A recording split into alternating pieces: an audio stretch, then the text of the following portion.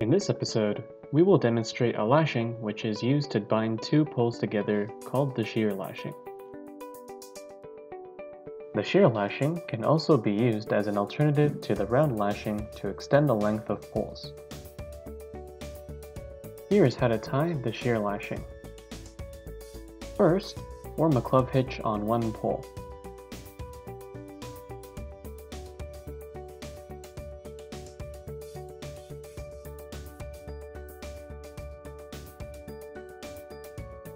Wrap the rope around both poles 5 to 6 times.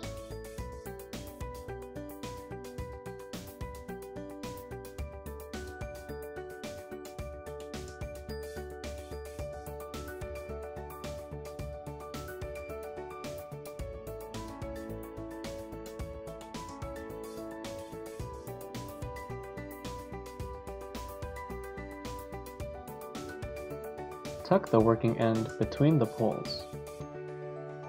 Make two frapping turns, and make sure to pull tight.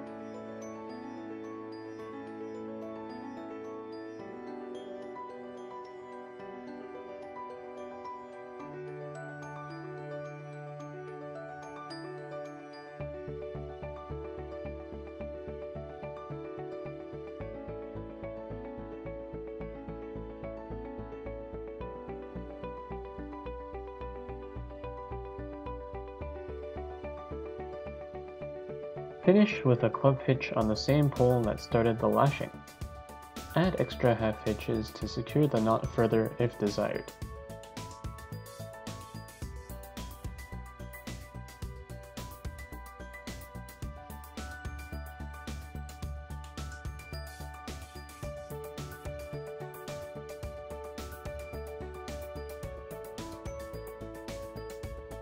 The shear lashing is often used as a solution to reinforce and repair broken poles, or create A-frames by spreading the two poles apart after the knot is completed.